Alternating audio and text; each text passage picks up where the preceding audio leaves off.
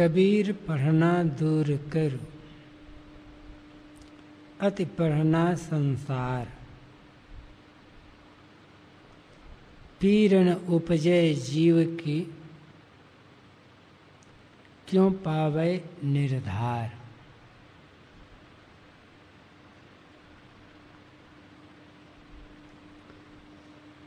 सदगुरु कबीर कहते हैं कि हे भाई ये बहुत पढ़ना लिखना बंद करो।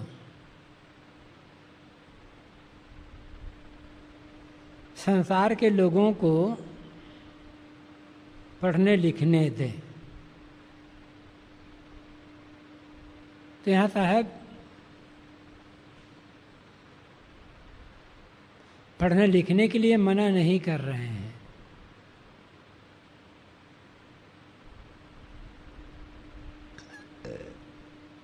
लेकिन खाली पढ़ते लिखते गए। और पढ़ने लिखने के साथ साथ संयम, साधना, बैराग, सेवा, भक्ति पर ध्यान नहीं दिए। तो पढ़ना लिखना काम नहीं करेगा।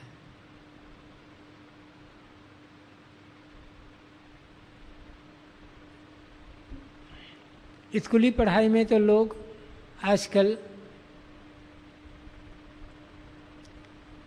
ज्ञान की वृद्धि पर ध्यान नहीं दे रहे हैं, डिग्री पर ध्यान है। डिग्री हमें मिलनी चाहिए बस।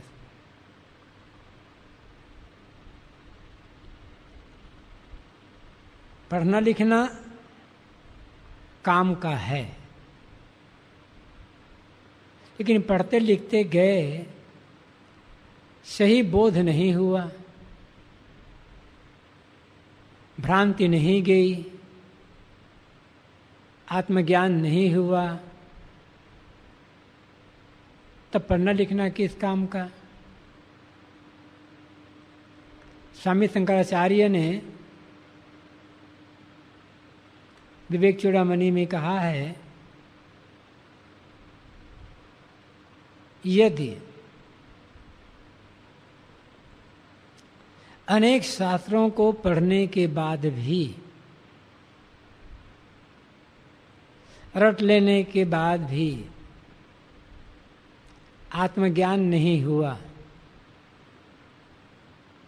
तो शास्त्रों का पढ़ना निरर्थक हो गया।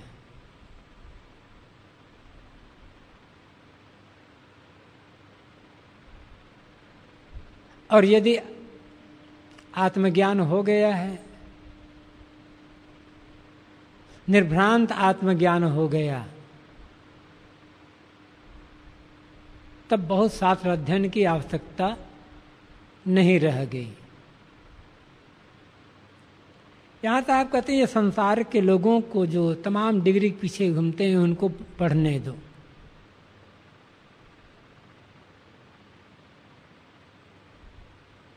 तुम बहुत पढ़ने लिखने के चक्कर में न पढ़ो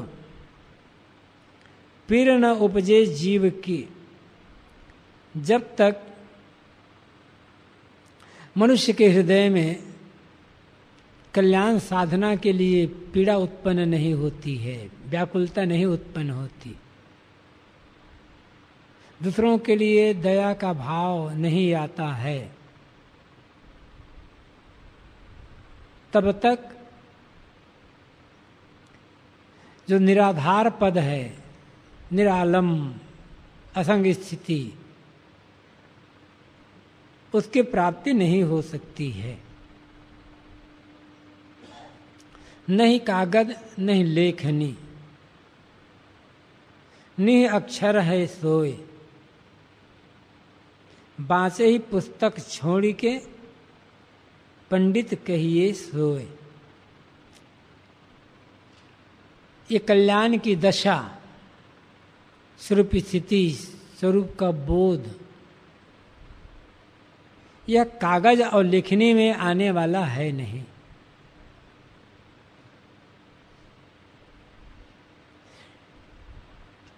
लिखते रहें, पढ़ते रहें तो उतने से स्वरूप बोध हो जाएगा, ऐसा थोड़े है। उससे ऊपर की चीज़ है। नहीं अक्षर है तो साहब कहते वो निरक्षर है। अक्षर के जाल से ऊपर शब्दातीत दशा है स्वरूप भाव। बांचे पुस्तक छोड़ के, जो बाहरी पुस्तक को छोड़कर अपने स्वरूप भाव की याद कर रखता है, उसको पढ़ता है। स्वरूप स्मरण करता है, अपने आप को समझने का प्रयास करता है। वह असली पंडित है। पोथी पत्राधारी पंडित शास्त्रों को पढ़ने में लगे हुए हैं। जीवन भर पढ़ते रह जाते हैं। आत्मबोध नहीं हो पाता। वे शब्दों में ही उलझे रह जाते हैं। लेकिन साहब ने कहा है, मैं तो ही पूछूँ, पंडिता, शब्द बड़ा कीजिए अरे पंडित, मैं तुमसे ये पूछता हूँ, ये बताओ, शब्दों को लिखने वाला, शब्दों को बोलने वाला इस जीव बड़ा है या शब्द बड़े हैं? तुम शब्दों में अटक गए। देखो, यहाँ ये लिखा है, वहाँ वो लिखा है। लिखने वाला बड़ा नहीं है। लिखा हुआ बड़ा नहीं है, लिखने वाला बड़ा है। इसलिए सच्चा पंडित कौन?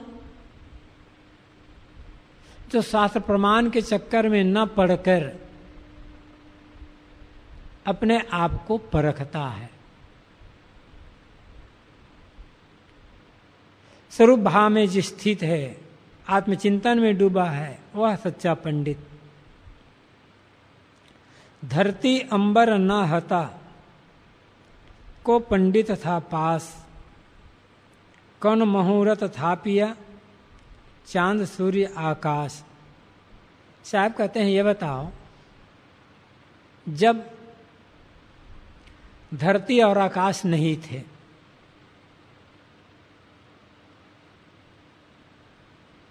तब चाँद और सूर्य को किस मुहूर्त में आकाश में स्थापित करने वाला किस मुहूर्त में आकाश में स्थापित करना चाहिए, ये बताना वाला पंडित कहाँ पर था?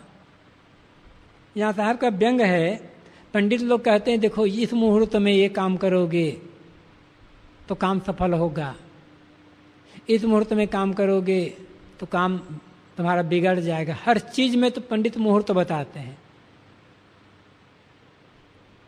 सदगुरु उन लोगों से पूछते हैं, तुम ये कहते हो एक तरफ़, एक समय दुनिया नहीं थी, तब परमात्मा ने चाँद और सूरज धरती आकाश को बनाया। तो चाँद और सूरज और धरती आकाश को किस मुहूर्त में बता, में स्थापित करना चाहिए? भगवान को बताने वाला पंडित कहाँ बैठा हुआ था?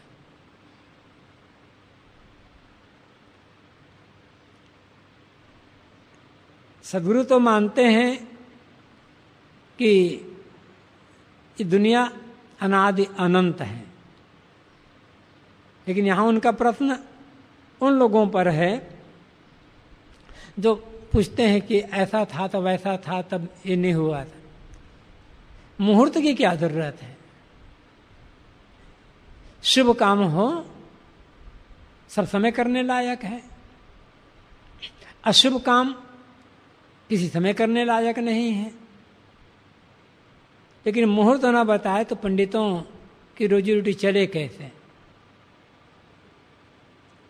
कबीर ब्राह्मण की कथा सो चोरन को नाम, सब अंधे मिली बैठिया, भावे तहां ले जा। साहब कहते हैं कि पोथी बांचने वाले जो पंडित हैं, खाली रात दिन पोथी बांटना जानते हैं।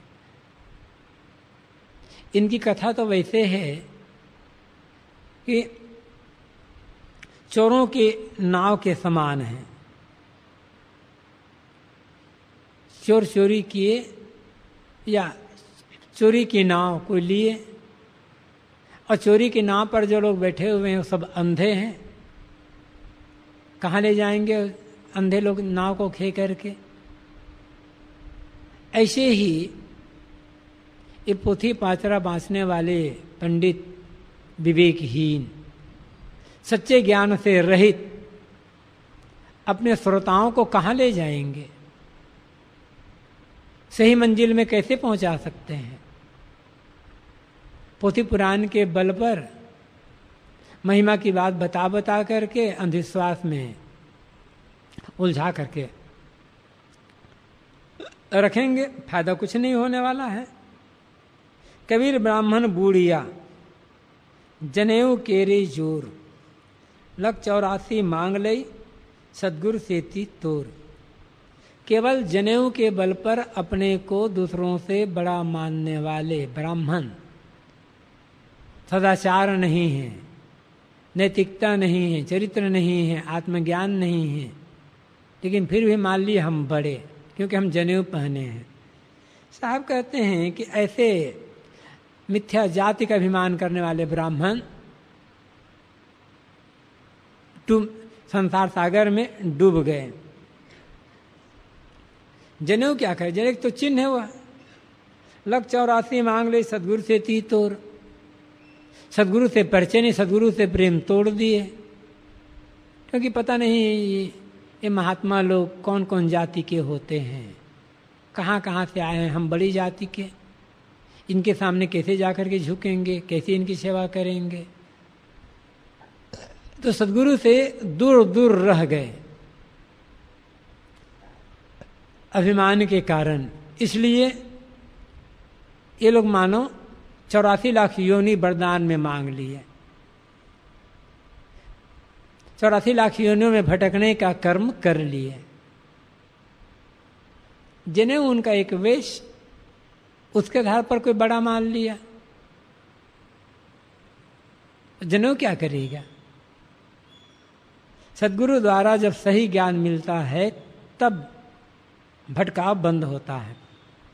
ब्राह्मण गुरु है जगत का, संतन के गुरु नाय, अरुज परज के मरी गए चारों वेदों माए ब्राह्मण कलाने वाले, यह जाति का ब्राह्मण। ऐसे ब्राह्मणों का जो लक्षण कहा गया है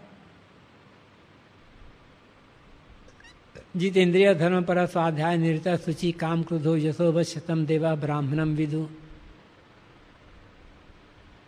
सम दम तप शौचम शांति राजमेव च ज्ञान विज्ञान आस्तिक्यम ब्रह्म कर्म स्वभावजम।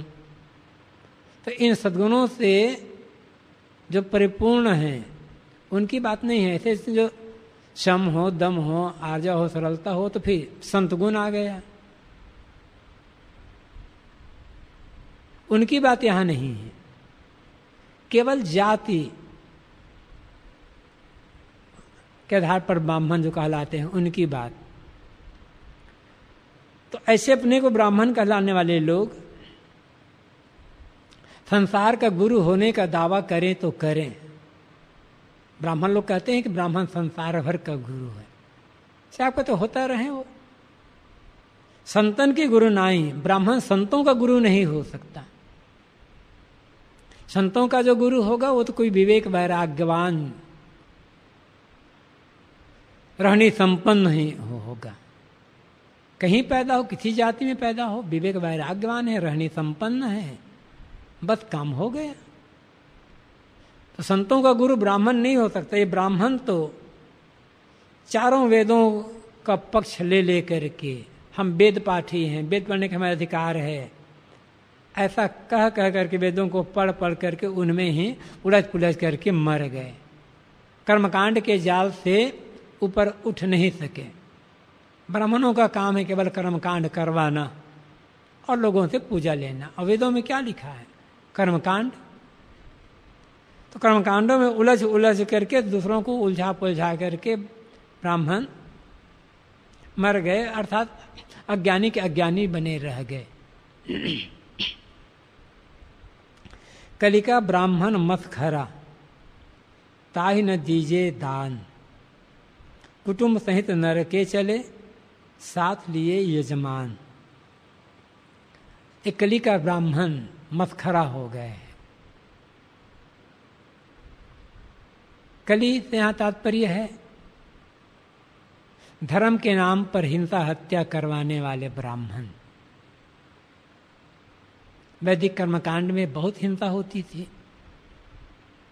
आज भी देवी मंदिरों में हिंसा होती, वहाँ करने वाले कौन है? ब्राह्मण ही है। तो धर्म के नाम पर हिंसा, गलत काम कराने वाले ब्राह्मण,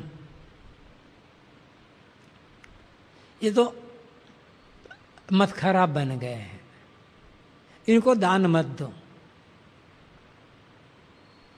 ये तो सब अपने को कुटुंब के सहित कुटुंब और अपने जजमान के सहित नरक में ले जाकर के डूब मरेंगे। पढ़े पढ़ावे कुछ नहीं, ब्राह्मण भक्ति न जान। ब्याह श्राद्ध कारण, बैठे सूड़ा तान। ऐसे ब्राह्मणों में पढ़ने पढ़ाने का प्रचलन रहा है लोग तो ब्राह्मणों तो ये कहा है पढ़ने पढ़ाने का अधिकार ब्राह्मण को ही है। लेकिन आज कितने ऐसे ब्राह्मण, अब आज तो जमाना बदल गया है, आज तो सब पढ़ पढ़ा रहे हैं। आज से कुछ सौ साल पहले कितने ऐसे भी ब्राह्मण थे, केवल ब्राह्मण घर में पैदा हो गए। पढ़ना पढ़ाना कुछ नहीं। निरक्षर। उन्हीं को लक्ष्य लेकर साहब कहते हैं कि कितने ऐसे ब्राह्मण कहलाने वाले हैं जो न पढ़ते हैं, न पढ़ाते हैं। और भक्ति, सेवा, नम्रता की बात तो वो जानते ही नहीं है। हाँ लेकिन केवल क्या है? विवाह, शादी, श्राद्ध। ये सब करवा करके लोगों से दान पाने के लिए सुण फैला करके बैठे हुए हैं। साहब के व्यंग है बैठे सुड़ा तान। ब्राह्मणों का तो सुण तो होता नहीं है। लेकिन लोह के वशीभूत रहते हैं। इसलिए खाली लोभ के कारण मुँह फैलाकर बैठे हैं कि हम शादी कराएँगे, ब्याह करें तो हमें इतना दान मिलना चाहिए। और श्राद्ध में तो बताते हैं कैसे कैसे क्या क्या नाटक करते हैं और कैसे कैसे लोगों को लूटते हैं। चार अठारह नौ पढ़ी छ पढ़ी खोया मूल। कबीर मूल जाने बिना जो पंछी चंडूल। चार वेद, अठारह पुराण, नौ व्याकरण, छह शास्त्र। ये सब पढ़ करके अपने मूल को खो दिए। मूल आत्मबोध, मनुष्यता। विवेक विचार। सब पढ़े मनुष्यता खो गई। सब पढ़े, आत्मबोध खो गया। सब पढ़े, विवेक खो गया। तो पढ़ना तो बेकार हुआ फिर। साहब कहते ब्राह्मणों ने ये सब चार वेद, अठारह पुराण, नौ व्याकरण, छह सात पढ़ करके मनुष्यता को, आत्मबोध को खो दिया। कबीर मूल जाने नहीं जो पंछी चंडू, आप कहते हैं यदि आदमी को स्वरूप ज्ञान नहीं हुआ तो वह चंडुल पक्षी के समान ही है। अब चंडुल पक्षी कौन पक्षी है, हमको मालूम नहीं है। पढ़िगुणी पाठक भय, समझाया संसार। अपना तो समझे नहीं, वृथा गवाया वृथा गया अवतार। पढ़ गुन करके अध्ययन मनन करके पढ़ाने वाले हो गए, अध्यापक बन गए और संसार को उपदेश देने लग गए। लेकिन अपना तो समझे नहीं, अपना को समझे नहीं, स्वरूप बोध हुआ नहीं। कौन हूँ, संसार में क्यों आया हूँ, क्या कर्तव्य है, क्या करना चाहिए, कहाँ जाऊँगा? कुछ समझ नहीं है। मनुष्य लेना बेकार चला गया। खाया पिया अघाय के सोया पाँव पसार। भोंदू कुछ जाने नहीं, को हमको संसार। इसी में जीवन चला गया बेकार ही हुआ। पड़गुण ब्राह्मण भय, कीर्ति भई संसार। वस्तु की तो समझ नहीं जो खर चंदन भार।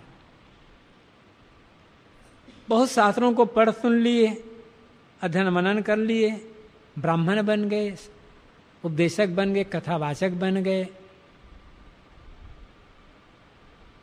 संसार भर में कीर्ति फैल गई कि बड़े अच्छे कथावाचक हैं, बड़े अच्छे ज्ञानी पंडित हैं, बहुत जानकार हैं। कीर्ति फैल गई। लेकिन वस्तु की तो समझ नहीं। जो सार वस्तु है, खुद की अपनी वस्तु है, अपना आत्मबोध, उसकी समझ कुछ नहीं है। उससे खाली के खाली रह गए। तो साहब कहते हैं, इनका पढ़ना लिखना सब कुछ वैसे हुआ, जैसे चंदन का बोझा लाद करके कोई गधा घूम रहा हो। चंदन बहुत कीमती, बहुत शीतल, सुगंधित, लेकिन गधा को मालूम ही नहीं है। गधा के लिए तो केवल बोझा है। गधे पर नमक ला दो चीनी ला दो उसके लिए बोझा है। न नमक से मतलब न चीनी से मतलब। तो चंदन का बोझा लाद लिए गधा, भार ढो रहा है। उसे तो कुछ मिलने वाला नहीं है। ऐसे साहब कहते हैं, बहुत पढ़ लिख लिए। खाली बोझा लाद लिए हैं। यदि स्वरूप की समझ नहीं हुई तो। पढ़त गुणत रोगी भया। बढ़ा बहुत अभिमान। भीतर ताप जो जगत का, घड़ी न पड़ती शान। बहुत पढ़ते लिखते रोगी बन गए। मनोविकार के रोग में डूबे हुए तमाम प्रकार के विकार, अहंकार का बुखार अपने पर चढ़ा लिए। और अभिमान बहुत बढ़ गया। भीतर ताप जगत का और भीतर संसार का ताप। दुनिया भर का लोभ, तमाम सांसारिक इच्छाएँ, कामनाएँ, विषयों की चाहनाएँ, ये ताप से मन पीड़ित, घड़ी न पड़ती, शांत एक घड़ी भी शांति नहीं पाते हैं। पढ़ने लिखने का अर्थ क्या है? पढ़ने लिखने का अर्थ है जितना पढ़ते लिखते जाए, उतनी समझ हमारी सही होती जाए। वस्तु बोध होता जाए। समझ होगी वस्तु बोध होगा तो रोग घटेगा। दवाई खाने का अर्थ क्या है? दवाई खाते गए, रोग बढ़ता गया तो ऐसी दवा किस काम की? दवा तो वह है कि जितना दवा खाते जाएँ, रोग घटता जाए। ऐसे पढ़ते लिखते गए, विकार घटते जाए। मन का ताप घटता जाए, शांति बढ़ती जाए, शीतलता बढ़ती जाए, तृप्ति बढ़ती जाए। लेकिन पढ़े लिखे बहुत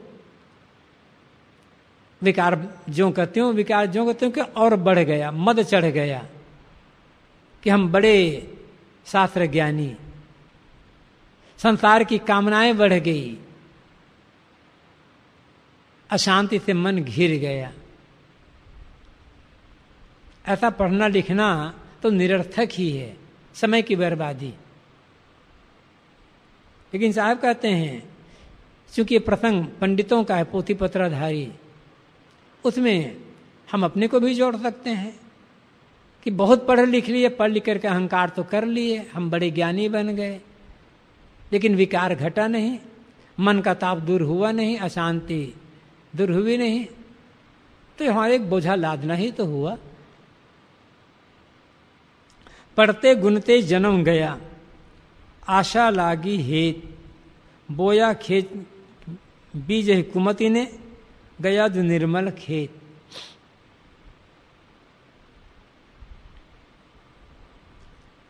नाना शास्त्रों को पढ़ते गुनते उत्तम मानव जीवन समाप्त हो गया। क्यों? आशा लागी हेत। सांसारिक विषयों की आशा जो कि त्यों बनी की बनी रह गई। यदि हम संसार की कोई कामना लेकर पढ़ते गुनते हैं, संसारिक इच्छा कामना में की पूर्ति के लिए शास्त्रों का ध्यान वर्णन करते हैं तो हमारा पढ़ना लिखना बेकार ही तो गया। जीवन बेकार चला गया। कुमति का बीज बो करके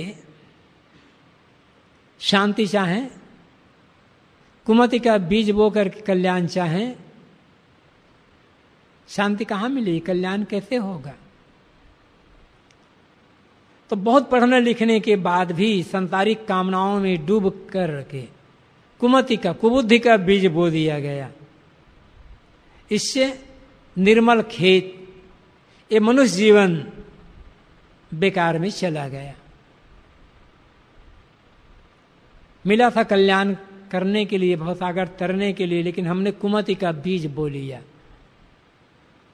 इसलिए ऐसा उत्तम अवसर बेकार चला गया। चतुराई पोपट पढ़ी। पड़ी तो पिंजर माई। फिर पर मोधे और को आपन समझे नाए चतुराई बहुत है।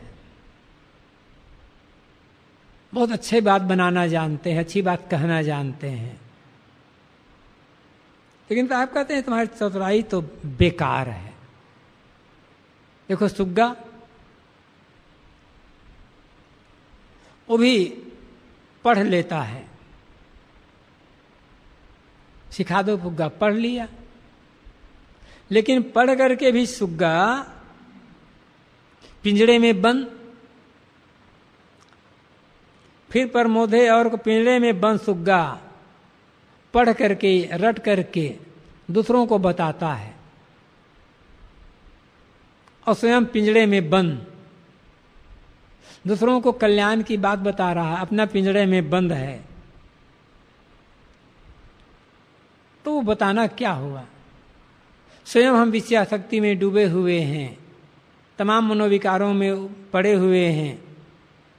और चतुरता पूर्वक दूसरों को कल्याण की बात बता रहे हैं, उपदेश दे रहे हैं तो हमारा ज्ञान भी सुग्गा का ज्ञान हुआ बस। हरिगुण गावे हरथ के, हृदय कपट न जाए। आपन तो समझे नहीं, और ही ज्ञान सुनाए। खूब प्रसन्न होकर के, मग्न होकर उछल कूद करके, नाच गाकर भगवान का भजन करते हैं, हरि का गुण गा रहे हैं।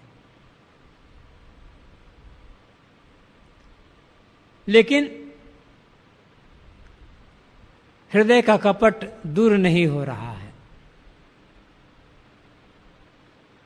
बल्कि हृदय में कपट और भर लिए कि हम ऐसे खूब अच्छी तरह से बना करके अनेक उपदेश, प्रमाण, दोहा, साखी, चौपाई बीच बीच में लोगों को सुना सुना करके लोगों को खुश करेंगे तो हमारी कामनाएँ और पूरी होती जाएगी। लोग हमें बड़ा मानेंगे खूब अधिक दान दक्षिणा मिलेगा। तो साहब कहते हैं, ऐसी चौथाई किस काम की फिर? यदि हृदय में कपट है तो हर हर कर प्रसन्न होकर के हरि का गुण गाने से लाभ कुछ होने वाला नहीं है। आपन तो समझे नहीं। स्वयं तो अपना समझते नहीं है कि मैं किन किन अवगुणों में, दोषों में, बुराइयों में डूबा हुआ हूँ। कैसे मेरे अंदर विषयाशक्ति देहाभिमान भरा हुआ है। अपने पतन का ज्ञान नहीं है। पतन से बचने का रास्ता का ज्ञान भी नहीं है, लेकिन दूसरों को कल्याण का रास्ता बता रहे हैं। अपना कल्याण कैसे होगा? इसका पता नहीं। दूसरों को कल्याण का रास्ता बता रहे हैं। तो उससे हमारा लाभ क्या होगा? हाँ प्रसिद्धि बढ़ जाएगी। लोग अच्छा मान लेंगे। तो ताकत चतुराई काम तो ना आएगी। ज्ञानी ज्ञाता बहु मिले, पंडित कवि अनेक। राम रता जीता कोटि मध्य एक। ज्ञानी, ज्ञाता, पंडित, कवि तो बहुत मिल ले बहुत आधी मिलते हैं सत्य में मिलते हैं। तो इनकी कौन विशेषता है? शास्त्रों को पढ़ लिए, याद कर लिए, ज्ञानी बन गए। और प्रवक्ता बन गए। थोड़ा अभ्यास कर लिए कवि भी बन गए, कविता भी बनाने लग गए। इनका कोई मतलब मतलब नहीं है। राम रता इंद्री जीता। जो राम में रत हो, राम में लीन, और इंद्री जयी हो, ऐसा तो करोड़ों के बीच कोई एक मिलता है। लेकिन महत्व उसी का है। भले करोड़ों में एक हो, करोड़ों क्या? सौ करोड़ में एक हो। राम में लीन और इंद्रिय जयी विशेषता उसी की है। और ऐसा कोई भी हो सकता हो। राम में लीनता और इंद्रिय जय, इसके लिए बहुत पढ़ने लिखने शास्त्र ज्ञान की आवश्यकता नहीं है। इसके लिए तो निर्माण होकर के साधु संगत करने की आवश्यकता है। और जो साधु संगत में बातें बताई जाती है, उसको जीवन में आचरण करने की आवश्यकता है। कवि हो जाना, पंडित हो जाना, ज्ञानी बन जाना, ये महत्व का नहीं है। अभ्यास ऐसा कोई भी हो सकता है। महत्व का है राम में लीनता और इंद्रिय जयी होना। कुल मार्ग छोड़ा नहीं। रह माया में मुँह। पारस तो परसा नहीं, रहा लोह का लोह कुल का मार्ग, कुल जाति पात का अहंकार छोड़ा नहीं। रह माया में मोह और माया मोह की आसक्ति में पड़ा रहा। न कुल का अभिमान छूटा, न माया का मोह छूटा। तो साहब कहते हैं, शास्त्र ज्ञान का मतलब क्या हुआ? लोहा यदि पारस से स्पर्श नहीं किया तो सोना तो बना नहीं। लोहा का लोहा रहा गया। इसी प्रकार यदि सच्चे ज्ञानी गुरु नहीं मिले। और उसका ज्ञान जीवन स्पर्श नहीं हुआ, आचरण में नहीं आया। तो अज्ञानी के अज्ञानी मोही के मोही बने रह गए। अभिमान एक तरफ़ धरा का धरा रह जाएगा। शास्त्र ज्ञान क्या करेगा? पारस का कौन सा दोष है जो लोहा की स्पर्श नहीं होता उसमें तो? ऐसे ही शास्त्र ज्ञान क्या करेगा? यदि आचरण नहीं करते हैं तो लोहा का लोहा बने रह जाएँगे, संसार में रगड़ रगड़ करके एक दिन विदा हो जाएँगे।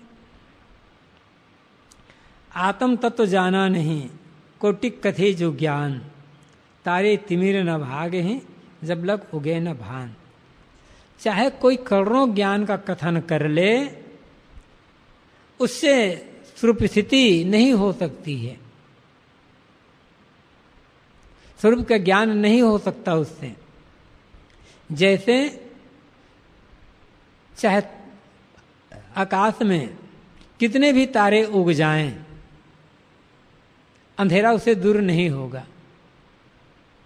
जब एक सूरज उदित हो गया पूरा संसार प्रकाशित हो गया। करोड़ों सूरज से, करोड़ों तारे से अंधकार दूर नहीं होता, एक सूरज काफ़ी है। ऐसे एक स्वरूप ज्ञान हो गया, बस सारा काम बन गया।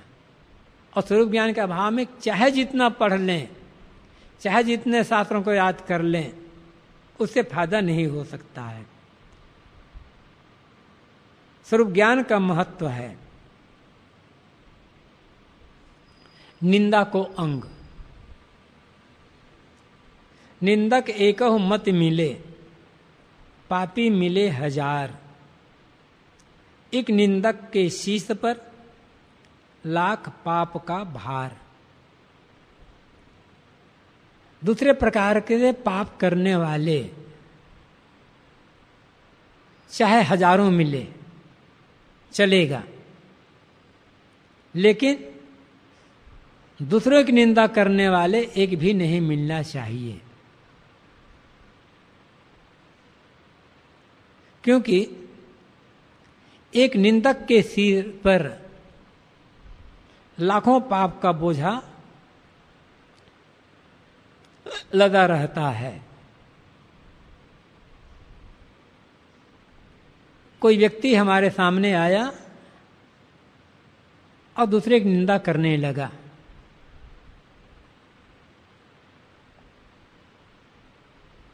और निंदा में हम रस लेने लग गए।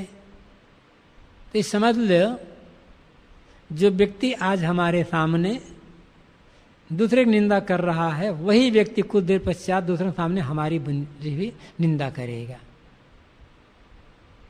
उसका स्वभाव ही है निंदा करना। साहब कहते हैं कि अन्य पापों की अपेक्षा दूसरे की निंदा करना भयंकर पाप। इसका मतलब यहाँ ये नहीं है कि जो अन्य पाप जो लोग करते हैं, चोरी हिंसा, हत्या, व्यभिचार साहब उसको ठीक कह रहे हैं। पाप तो पाप है। किसी प्रकार का पाप हो, गलत है। लेकिन पर निंदा का पाप और भयंकर। ज्ञानी से ज्ञानी है। सज्जन सन सदाचारी, निर्मल जीवन। फिर उसकी बुराई कर कर के दूसरों के मन में उसके लिए घृणा भर दी है। भयंकर पाप। ऐसा हुआ है सब समय। आगे भी ऐसा होगा। निर्मल से निर्मल सन। उनकी बुराई करने वाले और उनकी बुराई कर करके दूसरे लोगों के मन में उसके प्रति द्वेष की भावना भर दी। निंदक अपना तो नरक में है ही, दूसरों को भी नरक में ले गए। इसलिए साहब कहते हैं, निंदक के सिर पर तो लाखों पाप का भार रहता है। निंदक से सदैव दूर रहना चाहिए। अगली साखी तो और कठोर है। निंदक से कुत्ता भला, हटकर मारे रार। कुत्ते से क्रोधी बुरा गुरु दिलावे गार। निंदक से कुत्ता अच्छा होता है। कुत्ता कम से कम दूर रहकर तो भूखता है। निंदक तो पास में रह करके ही कान में ही भूखने के काम करता है। कुत्ते से सावधान रहते हैं। और दूसरे निंदा करने वाले की बात हमें बड़ी अच्छी लगती है। हमारे कान में वो जहर भरता चला जा रहा है। हमें इसका पता नहीं चलता। एक दिन पूरा का पूरा फिर जहर हमारे अंदर भर जाता है। इसलिए निंदा करने वाले से कुत्ता अच्छा है। कुत्ता से क्रोधी बुरा, गुरु दिलावेरा कुत्ते से भी क्रोधी निंदक बुरा होता है, जो गुरु को भी गाली दिलवाता है। हमारे मन में कामना है। गुरु हमारी बात माने, हमें ऐसा ये करें। और जब हमारी कामना पूरी नहीं होती है तो हम गुरु से ही कहते हैं कि गुरु जी ऐसे हैं, गुरु जी वैसे हैं। निंदक तो है नाक बिन, सो है नकटो माही। साधु जन गुरु भक्त जो तीन में सो है नाय निंदक दूसरे की निंदा करने वाला बिना नाक का है। नकटों के बीच में वो शोभा पाता है। जो साधु संत है, उनके बीच में वह शोभा नहीं पाता।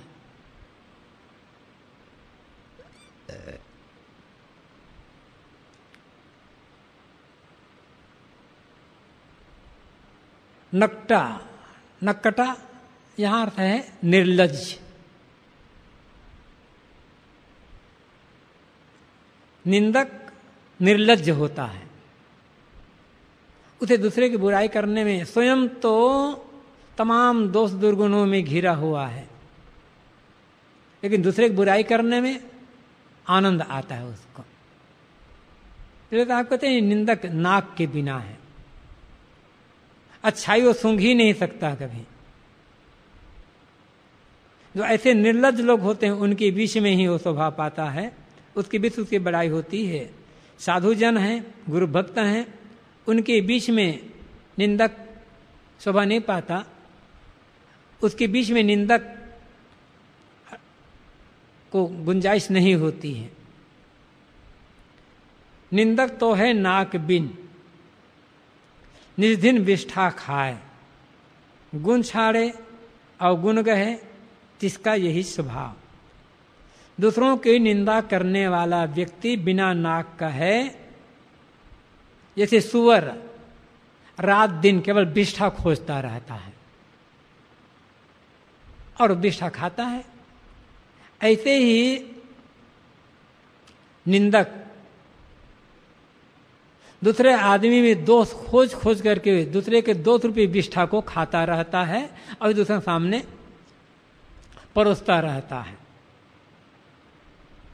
गुण छाड़े अवगुण गए तिसका ये स्वभाव? वह तो गुणों को छोड़, सदगुणों को छोड़ करके दुर्गुण को ही ग्रहण करता है, उसका वही स्वभाव है। उसे सदगुण अच्छा नहीं लगता, दुर्गुण अच्छा लगता है। सदगुणों की चर्चा करे, तब निंदा थोड़े कहा जाएगा। दुनिया में लोग यदि दूसरे सदगुणों की चर्चा करने लग जाएँ, दूसरों के सामने तो दुनिया स्वर्ग बन जाए। लेकिन जैसे सुअर के सामने एक तरफ़ मिठाई रख दो, एक तरफ़ बिष्ठा रख दो, और सुअर को छूट दे दो कि तुम्हें जो खाना है तो खाएगा तो सुअर मिठा सुअर मिठाई खाएगा क्या? वो कह रहे, मिठाई कह ले बेकार की चीज़। उसे तो विष्ठा ही पसंद आएगा। साहब कहते हैं, ऐसे ही निंदक सुअर के समान है। उसे दूसरे के सदगुण अच्छे नहीं लगते। दुर्गुण ही वो खोजता रहता है। वो तो निर्ढिन विष्ठा खाए खोज खोज करके दूसरों के दुर्गुण रूपी विष्ठा को खाता रहता है। उसी की चर्चा करता है। क्योंकि स्वभाव उसका वही है। निंदक नीरे राखिए आँगन कुटी छवाए।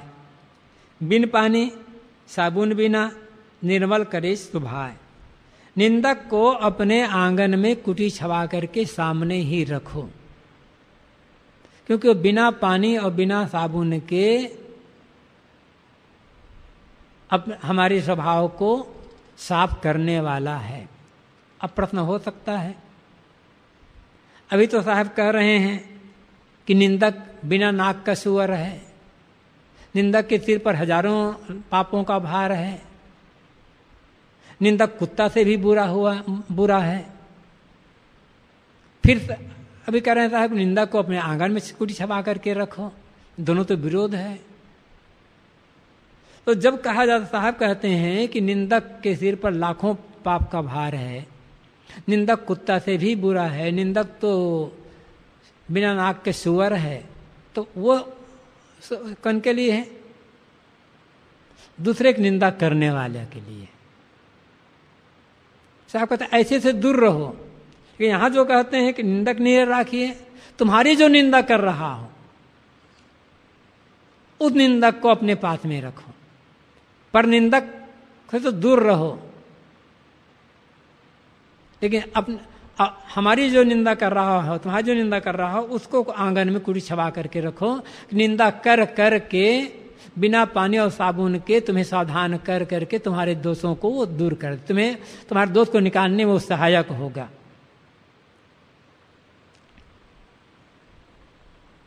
निंदक दूर न कीजिए कीजिए आदर मान। निर्मल तनमन सब करें, बके आने ही आन। अपनी कोई निंदा करता हो। आप कहते, तुम्हारी कोई निंदा कर रहा हो तो उसका तो सत्कार करो। आदर, मान, आभगत करो। क्योंकि वह तुम्हारे बारे में कुछ का कुछ कह कह करके, तुम्हें बुराई खोज खोज करके, तुम्हारे तन मन को निर्मल करने का काम करता रहेगा। लेकिन इसके लिए सहन शक्ति होगी, तब हो। नहीं तो फिर अपनी निंदा सुन सुन करके तो आदमी को प्राय क्रोध ही होता है, मन दुखी ही होता है। और जितना हम दुखी होते हैं, किसी ने हमारी निंदा की, और जितना हम दुखी हुए, उतना निंदक सफल हुआ। और दुखी नहीं हुए। निंदा सुनकर चिढ़े नहीं, निंदक असफल हो गया। वो मर जाएगा।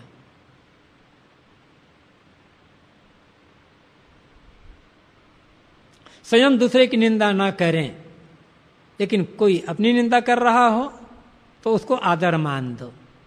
क्योंकि साहब कहते हो क्योंकि तुम्हारे तन मन को वह निर्मल करने वाला तुम्हारे बारे में कुछ कुछ कह कह करके। निंदक मेरा जनि मरो जीवो आदि जुगादि। कबीर सदगुरु पाइये निंदक के प्रसाद। कबीर साहब कहते हैं ए भाई निंद, मेरा निंदक तुम मरना मत। तुम तो जुगो जुगों तक जीते रहो। अदर अमर हो जाओ क्योंकि तुम्हारी कृपा से मुझे सच्चा सदगुरु मिल गया स्वरूप बोध मिल गया। मैं तो अपनी साधना में सफल हो गया। तुमने मेरी निंदा कर करके मुझे सावधान किया। और तुम्हारी निंदा सुन सुन करके मैं सावधान होता गया, अपने दो दुर्गुण निकालता गया, तुम्हारी तुम्हारी कृपा से तो। मुझे सदगुरु मिल गए, सदगुरु द्वारा सच्चा बोध हो गया, जीवन कृतार्थ हो गया। इसलिए तुम मरना मत। तुम जुगों जुगों तक जीते रहना।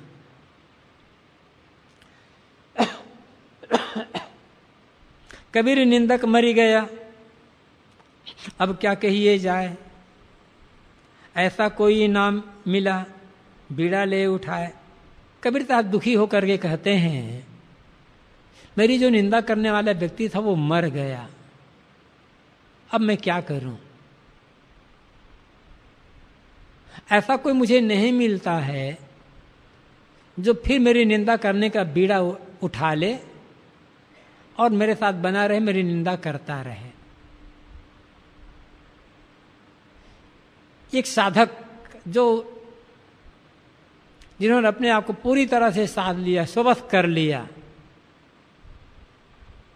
उनके मुख से ही ये बात निकल सकती है। जितने हम में बुराई होगी, जितने हम भीतर से कमज़ोर होंगे उतनी निंदा सुन सुन करके हम दुखी होंगे और निंदक को अपना शत्रु मान करके शत्रुता का उनसे व्यवहार करेंगे। लेकिन जिसमें अंदर बाहर की जितनी दृढ़ता होगी, जिन्होंने अपने आप को भीतर बाहर से पूरा साफ़ ठोस कर लिया है, जिनके जीवन में कोई बुराई रह नहीं गई निंदा सुन करके निंदा करने वाले के लिए उसके मुख से आशीर्वाद निकलेगा कि भाई तू मेरा ही चिंतक है, मुझे सावधान कर रहा है। तो जहाँ साहब कहते हैं कि निंद, कबीर निंदक मर गया, अब क्या करिए यार? कबीर साहब कहते हैं, भाई, मेरा निंदक मर गया, अब मैं क्या करूँ? कहाँ जाऊँ? ऐसा कोई नहीं मिल रहा है कि जो मेरी निंदा करने का बीड़ा उठा ले और मुझे सावधान करता रहे। सातों सागर मैं फिरा। जम्बु दीप दे पीठ। पर निंदा ना ही करे, सो कोई बिरला डीट सातों सागर। जम्बूदीप जम्बूदीप भारत। क्या कहते जम्बूदीप से पीठ लेकर के मैं सातों सागर में अर्थात पूरे पृथ्वी पर मैं घूम घूम करके देख लिया। एक जगह की बात नहीं है। दूसरे, जो दूसरे की निंदा नहीं करता हो, ऐसा कोई बिरला ही दिखाई पड़ता है। दुनिया में कहीं चले जाओ आदमी तो आदमी, सब, सबका स्वभाव एक जैसा है। कम ज़्यादा अंतर हो सकता है। दुनिया में कहीं चले जाएँ, कामी, क्रोधी, लोभी, मोही, रागी, द्वेषी ईर्षालु लड़ाई झगड़ा करने वाले, बैर विरोध करने वाले, इनकी कमी नहीं है। लेकिन ये भी है, दुनिया में कहीं चले जाएँ, दया, क्षमा सत्य धीर, विवेक, विचार, संयम, साधना, ज्ञान, वैराग के पथ पर चलने वाले, दूसरों की प्रशंसा करने वाले, सद्गुणी, सदाचारी, सद्गुणग्राही, ये भी मिलेंगे। लेकिन ऐसे लोगों की संख्या बहुत कम होती है। दूसरे, बुराई करने वाले लोग ज़्यादा होते हैं। उसी पर साहब कहते हैं कि मैं दुनिया भर में घूमकर देख लिया कि दूसरे की निंदा जो नहीं करता, ऐसा कोई बिरला बिरला ही होता। अब वो धन्य है जो ऐसा नहीं करता। दोष पराया देख के, चले हसंत हसंत अपने चित आवई जिनको आदिना अन। साहब कहते हैं, दूसरे का दोष देख करके तुम हँसते हँसते चल रहे हो। देखो, अमुक में ये दोष है, अमुक में ये दोष है, अमुक में ये दोष है। बड़े खुश हो रहे हो तुम। और हर्षित होकर के लोगों के सामने उनकी बुराई कर रहे हो। अरे, जिनको तुम अच्छे मानते थे ना, सज्जन मानते थे, साधु मानते थे, महात्मा मानते थे, उसमें तो ये ये बुराई है। लेकिन साहब कहते हैं, अपने चित न आवे जिनको आदि अपने भीतर रहे हुए बुराइयों की तरफ़ ध्यान नहीं जाता, जिन बुराइयों का आदि अंत ही नहीं है। अपार बुराइयाँ हैं। यदि हम अपनी बुराइयों को देखने लग जाएँ और देख करके उनको दूर करने के काम करने लग जाएँ तो दूसरे के दोष देखने के लिए हमारे पास फुर्सत नहीं होगी समय नहीं होगा। बेड़ा पार हो जाएगा। लेकिन हम ये मानते हैं हम तो सिर से पैर तक सदगुणों से लबालब भरे हुए हैं।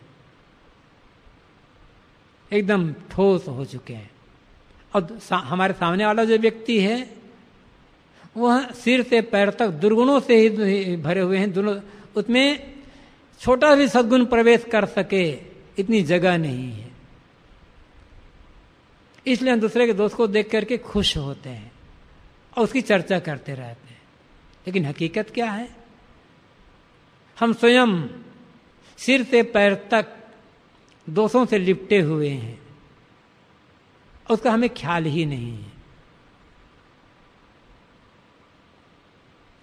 तिनका कबू ने निंदिए पाँव तले जो होए कबहू उड़ आँखों पर पीर घनेरी होए। सदगुरु कहते हैं, कुछ घास का छोटा सा तिनका तुम्हारे पैर के नीचे पड़ा हुआ हो तो भी उसकी निंदा मत करो, उसके अवहेलना मत करो, उसे तुच्छ मत कहो। समय का चक्कर, कब कैसा चले क्या पता? हो सकता है वही तिनका जो तभी तुम्हारे पैर के नीचे दबा हुआ है। तुम हाथ हटो, हवा चले, उड़ करके तुम्हारी आँख में घुस जाए और भयंकर पीड़ा तुम्हें तुम्हें देने लग जाए। अर्थ है कि किसी भी आदमी को दुर्गुणी मान करके उसकी निंदा मत करो। कब उससे कैसे क्या पाला पड़ जाए, क्या पता है?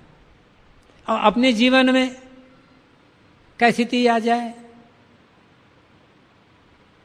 कब हम प्रलोभन में पड़ जाएँ?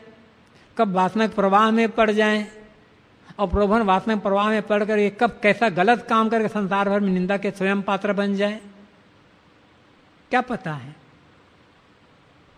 दूसरे को हम कहते हैं उन्होंने ऐसी गलती कर ली, उन्होंने ऐसी गलती कर ली, उसकी निंदा करने, ठीक है, उन्होंने गलती कर ली कर ली।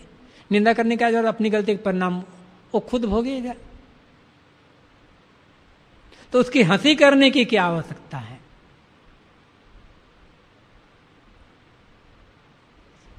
स्वयं के लिए देखो कि तुम्हारे जीवन में कब कैसी घटना घट जाए।